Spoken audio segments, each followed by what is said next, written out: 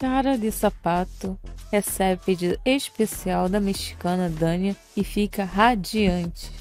Se você quer ficar por dentro de tudo que hoje está rolando Big Brother Brasil, se inscreva no canal, ativa o sininho das notificações e deixa aquele like.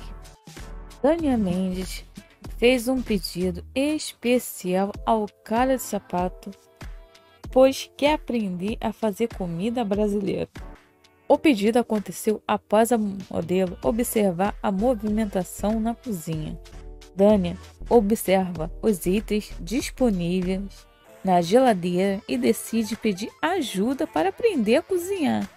Aline, que está por perto, respondeu que não sabe cozinhar e afirmou que só ajuda o cara de sapato.